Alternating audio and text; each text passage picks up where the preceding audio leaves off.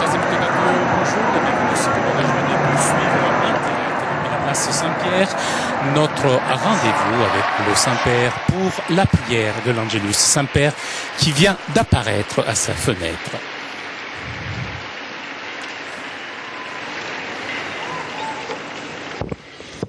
Cari fratelli e sorelle, Ces, derniers jours, l'attention de tous s'est adressée vers le G8 qui s'est tenu à L'Aquila, ville éprouvée par le tremblement de terre. Les problèmes traités drammaticamente très important et urgent. Il y a dans le monde des injustices structurelles qui ne sont plus tolérables, qui exigent, en plus d'interventions immédiates, une stratégie coordonnée pour essayer de trouver des solutions globales. Durable. e di governo del G8, Lors de la rencontre des chefs d'État et de gouvernement du di G8, les chefs d'État ont confirmé la nécessité d'arriver à des accords communs pour assurer à l'humanité un avenir meilleur. L'Église n'a pas de solution technique à présenter, mais une humanité. Et l'Église offre à tous l'enseignement des e Écritures sur la vérité de l'homme e et annonce l'évangile de l'amour et de la justice. Mercredi dernier, lors de l'audience gén- Caritas générale, en commentant l'encyclique Caritas in G8, Veritate, publiée justement la veille du che G8, occorre je disais qu'il fallait de nouveaux projets lo économiques pour redessiner le développement de façon globale, se fondant sur l'éthique et sur la responsabilité devant e Dieu et de l'être- humain. Comme créature de Dieu. Ce- cela parce que J'écris l'encyclique dans une société qui est sur le chemin de la globalisation. Et le bien commun et l'engagement pour ce bien commun ne peuvent pas prendre la dimension, ne peuvent pas ne pas assumer la dimension de toute la famille humaine. Déjà, le grand pontife Paul VI, dans l'encyclique Populorum Progressio, avait reconnu et indiqué l'horizon mondial de la question sociale. Poursuivons sur ce même chemin, Moi aussi, j'ai ressenti le besoin de dédier la Caritas in Veritate à cette question qui, à notre époque, est devenue une question anthropologique. Le sens, c'est-à-dire que cette question implique la façon même de concevoir l'être humain, toujours plus passé, placé entre les mains de l'homme lui-même par les biotechnologies modernes. Le Les solutions aux problèmes de l'humanité d'aujourd'hui ne peuvent pas être seulement techniques, mais doivent prendre le en compte toutes les exigences de la personne e qui a e une âme et un corps. Et on doit prendre en compte aussi Dieu, le Créateur. On pourrait en effet dessiner des, sombres scénarios pour l'avenir de l'humanité, l'absolutisme de la technique, qui trouve son expression la plus importante dans quelques pratiques qui sont contraires à la vie. Les actes qui ne respectent la véritable dignité de la personne, même lorsqu'ils semblent motivés par un choix d'amour, en réalité, sont le fruit concezione materiale e conception matérielle et mécaniciste de la vie, l'amore qui réduit l'amour sans vérité à une carapace vide qu'il faut remplir de façon arbitraire et peut donc entraîner des effets négatifs pour le développement humain intégral. Même si la situation du monde. d'aujourd'hui est complexe, l'Église regarde à l'avenir avec espérance et rappelle aux chrétiens que l'annonce du Christ est e le premier et principal facteur de développement. Justement, aujourd'hui, dans la collecte de la messe, la liturgie nous invite à prier. Donaci, o Padre, Donne-nous, au non Père, de ne rien avoir de plus cher che que ton Fils, qui révèle au monde le mystère e de ton amour et la véritable dignité de l'homme. Que la Vierge Marie nous obtienne de marcher sur le chemin du développement de tout notre cœur et notre intelligence, c'est-à-dire avec l'ardeur de la charité et la sagesse de la vérité. Angelus Domini nunciavit Mariae. Et concepit Spiritus Sancto. Ave Maria, gratia plena Dominus tecum, benedicta tu in mulieribus, et benedictus fructus ventris tui, Iesus. Sancta Maria, Mater Dei, ora pro nobis peccatoribus, nunc et in hora mortis nostre. Amen. Ecce ancilla Domini. Fiat mi secundum verbum tuum. Ave Maria, gratia plena Dominus tecum, benedicta tu in mulieribus et benedictus fructus ventris tui, Iesus. Sancta Maria, Mater Dei, ora pro nobis peccatoribus, nunc et in hora mortis nostre. Amen. Et verbum caro factum est. Et habitavit in nobis. Ave Maria, gratia plena Dominus tecum, benedicta tu in mulieribus, et benedictus fructus ventris tui, Iesus. Sancta Maria, Mater Dei, ora pro nobis peccatoribus, nunc et in hora mortis nostre. Amen. Ora pro nobis, Sancta Dei Genitrix. Udini efficiamo promissionibus Christi. Oremus, gratiam Tuam quesumus Domini mentibus nostris infunde,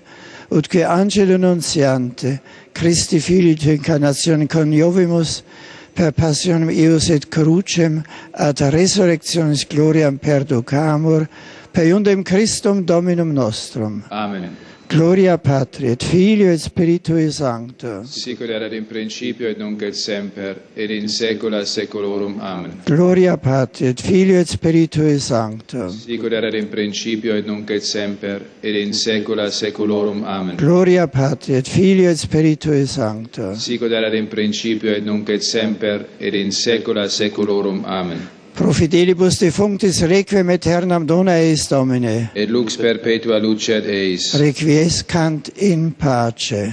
Amen. Sit nomen Domini benedictum. Ex hoc nunc et usque in saeculum. Adiutorium nostrum in nomine Domini. Qui feci celum et terram. Benedicat vos omnipotens Deus, Pater et Filius, et Spiritus Sanctus. Amen.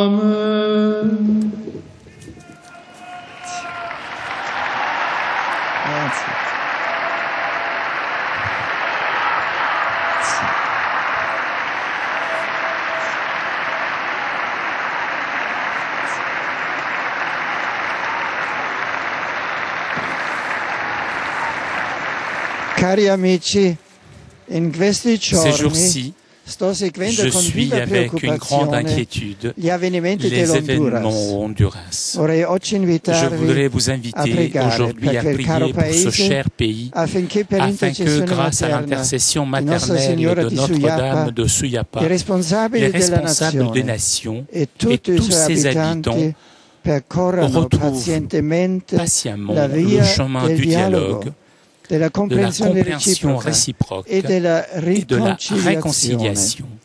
Cela est possible si le dépensant les tendances particularistes, chacun s'efforce de rechercher la vérité e et de poursuivre avec ténacité le bien commun. E Voilà la condition pour assurer une cohabitation pacifique e vita et une vie démocratique authentique.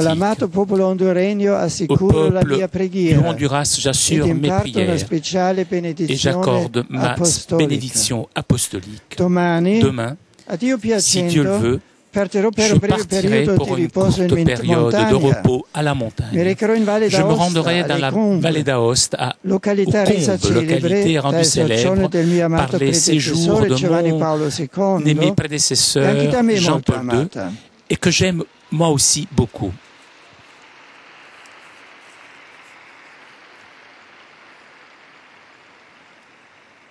Nel dare il mio arrivederci a Piazza San Pietro, alla città di Roma, à la pla place Saint-Pierre et à la ville de Rome, je vous invite vous tous de m'accompagner par la prière.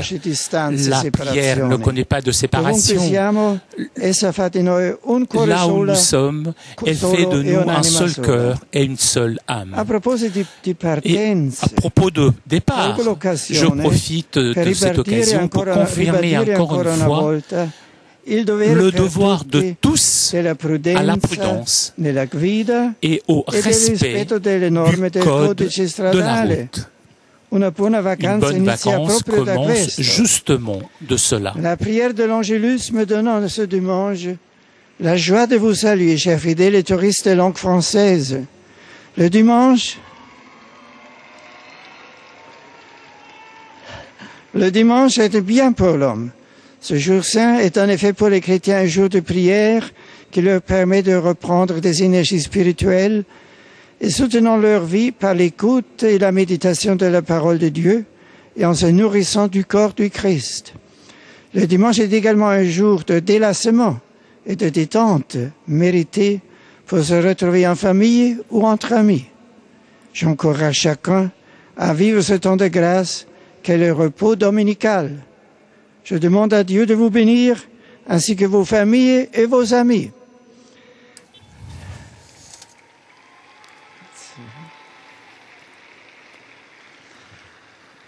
I am pleased to greet the English-speaking visitors here today. Le Saint-Père salue maintenant les fidèles de langue anglaise. Certains venus de loin, de Sydney en Australie dans le souvenir de la joyeuse célébration de la journée mondiale de la jeunesse qui a eu lieu pratiquement il y a un an.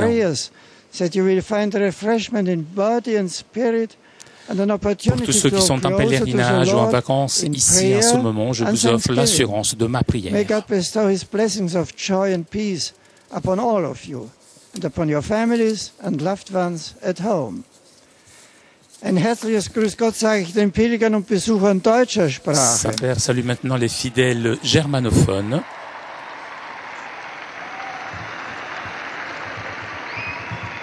Die Bezeichnung Christ ist mehr als ein Name. Es ist ein Auftrag Le und eine Sendung. chrétien est so plus qu'un nom. C'est un ordre, une Gott mission. Gib allen, die sich Christen nennen, die Kraft zu meiden, was diesem Namen widerspricht und zu tun, was unserem Glauben entspricht. Dies gelingt uns, wenn wir unser Leben ganz auf Jesus Christus ausrichten force und seiner Kraft und seiner Liebe in uns Raum geben. Dann sind wir wirklich Christen. Nicht jemand, der sich selbst verkündet, sondern Mitarbeiter Christ in der. Liebe und in der Wahrheit zum Heil der Mitmenschen. Der Heilige Geist helfe uns dabei mit seiner Gnade. Euch allen wünsche ich einen schönen Sonntag und eine gesegnete Urlaubszeit.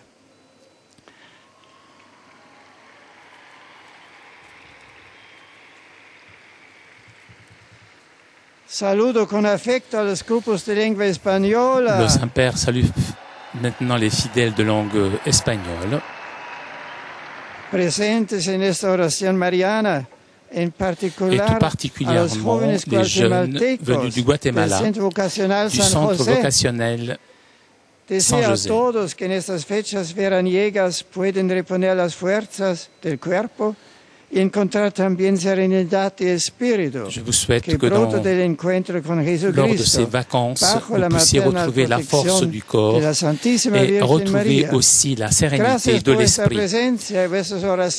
Je vous remercie de votre présence et de vos prières. Je souhaite un bon dimanche.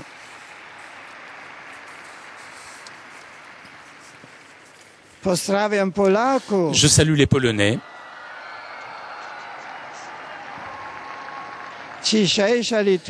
La liturgie d'aujourd'hui nous rappelle que nous sommes tous appelés à témoigner de l'amour de Dieu qui nous a bénis avec toutes les bénédictions spirituelles dans les cieux, dans le, le repos pendant les vacances, que le repos pendant les vacances nous, nous donne l'enthousiasme et le zèle pour la réalisation quotidienne de cette vocation.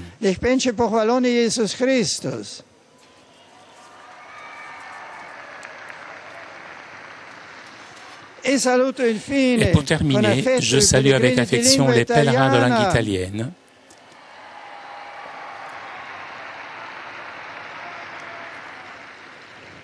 Et tout particulièrement les missionnaires de la divine rédemption, les fidèles de Trucco et les jeunes de l'action catholique de Novoli, ainsi que le groupe Les Amis du vélo de Spoltore auprès de Pescara, groupe qui est arrivé en vélo, s'arrêtant dans dans les. Je vous souhaite à vous tous un bon dimanche, une très bonne semaine, bonnes vacances. Bon dimanche à vous tous.